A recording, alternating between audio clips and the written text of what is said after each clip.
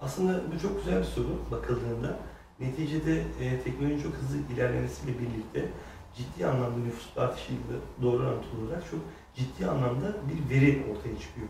Tabii bu veriyi yönetebileceğiniz çok güçlü sistemleriniz olması lazım ki biz bunlara işte süper bilgisayarlar diyoruz. diyoruz. Aslında bu süper bilgisayarlar e, hani saliseler mertebesinde işlem yapabilme kapasiteleriyle anlık olarak e, database'lerdeki karşılaştırmaları çok hızlı yapabilen makineler. Tabii bunu yapacak da çok önemli yazılımlar var ki biz bu kavramı işte big data diyoruz. Aslında bu big data içerisinde yer alan bu bilgi yığını dediğimiz veri e, çok ciddi anlamda çok kısa sürede işleniyor ve karşımıza bir e, analitik olarak, e, analitik rapor olarak karşımıza konuluyor.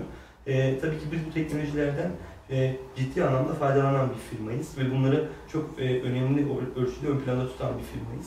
E, verinin hızlı bir şekilde işlenebilmesi ve bu işlenen veriden e, son halinin e, ortaya çıkması önemli bir teknoloji olarak e, karşımıza çıkan e, diğer bir etken.